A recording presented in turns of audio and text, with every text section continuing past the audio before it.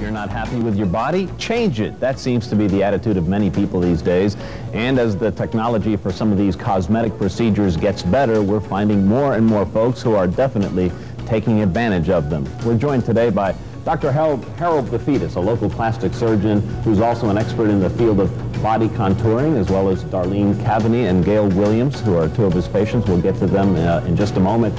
First of all, welcome back. It's great to be back. Thank you so much. We're going to see some incredible uh, before and after pictures in just a moment. But first, talk to us about some of these advances uh, in, in the you know, field of body sculpting, tummy tucking. Absolutely. In the last five to seven years, with the advent of the newer techniques in liposculpture, mm -hmm. with the tumescent technique, we're not losing that much blood, if any. And with newer techniques, with literally lifting up tissues, minimal incisional thigh lifts, abdominoplasty uh, that's contoured to the patient, and combining liposuction with these lifting procedures, we're safely at one session able to do amazing things. And the cannulas, is that what they're called? The little the little, the little, rods right. that we use for liposculpture uh, are much, much smaller. Yeah. Much, much smaller, and uh, you have less swelling and less problems postoperatively. But combining liposculpture with the techniques of body contouring has really reshaped uh, our field in that realm. Well, let's show the folks what we're talking about. We have a series of photographs, some before and afters. Obviously, the befores. We have, like, uh, this particular patient here, like three or four photos of that. If you can talk about what you this did to this particular patient, uh, yes, is, uh, is, is a, your regular patient who's had two or three pregnancies. No matter what she does, she can't lose that lower abdominal pooch, and uh, it's uh, she looks almost as if she's pregnant right here. Right. And after eating, she gets more distended, more bloated, and she doesn't have much body fat. And she represents a, a category of patient where no matter what you do, you can't correct this without surgery. Okay. Combining techniques where you would tighten up the fascia, the, the let's the fascia, let's call it the, literal the, the, the Teflon steel coating that holds in the, mm -hmm. the abdomen, the viscera, and doing some liposculpture around the waist can give you this kind of result. That's this amazing. Is a, it's a two-year result. Two-year result? Two-year result. And you can see that we, what we can do, and, and the incisions are usually well within uh, the bikini line. Okay, that's two-year result, but how long does the actual healing take before you actually feel pretty good? Within a month, Really? We have some patients. The bruising is gone by that time? Within a month or so, yeah, the bruising is gone and, and the tightness starts to loosen up where you feel more natural. But it takes about nine months to a year for full healing to take place. And as you can see here before and after, this is a what, what we call a standard result, which you should get with combined procedures. What's the role of ultrasound these days? We hear so much about that. Ultrasonic liposculpture is, I believe, uh, an adjunct. It's not a, a revolution, it's more of an evolution. The incisions with, uh, with the ultrasound are a little bit larger, and nothing has been documented in terms of keeping the swelling any, any less than the tumescent technique. And in fact, you need to use the tumescent technique with ultrasonic liposculpture. We've used that in combination. It's, it's good for fibrous fat for areas on the, the breast areas and around the waist. It's amazing. Okay, we talked earlier about some of your patients that you brought in, and this is uh, Darlene. Yes. Is that right? All right, Darlene, what did uh, what did you have done? Had, what was the experience like for you?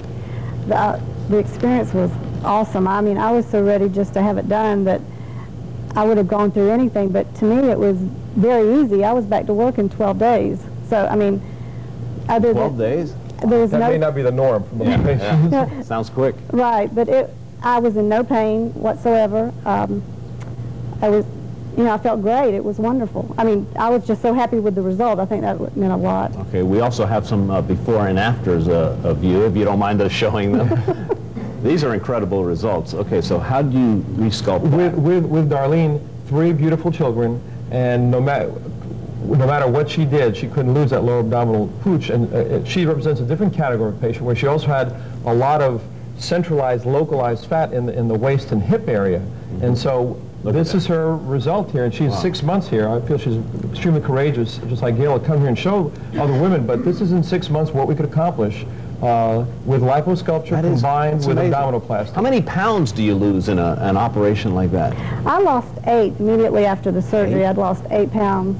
And the clothes obviously fit a lot better? Oh, I went from a size 10 to a 6 in pants. And what does that do to your ego oh or your outlook God. when you look in the mirror these days? It, it does a lot for me. I mean, my self-esteem is so much better. I, I love going and buying clothes. I don't have to buy the same clothes. You know, the big T-shirts and the big, the tight pants to hold the stomach in. Well, you look wonderful. You Thank look wonderful. You. Now, if we can get a shot over here of Gail. Gail, what was the experience like for you?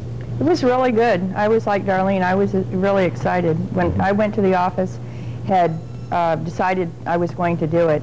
And when I saw the results of Darlene, I had my little vitamin bag. I was going to the hospital then, but I couldn't get in. So I just had to wait. As a patient, what were some of your concerns going in? I really didn't have any.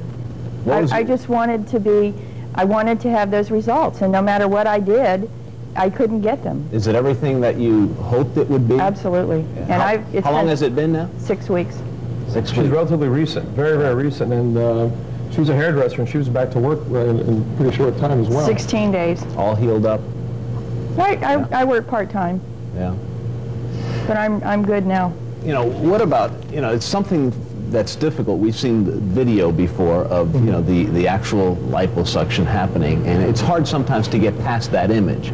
Right. How do you talk to a patient about that? It's a graphic image and all that, but basically what people need to understand is that with the techniques available, uh, you don't have that much pain. It may look, when you see it on TV or in the magazines, worse than what it is.